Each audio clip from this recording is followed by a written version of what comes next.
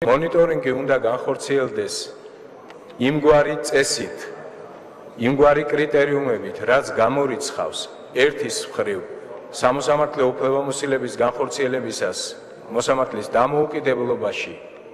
მისი საქმიანობის დამოუკიდებლობაში ჩარევას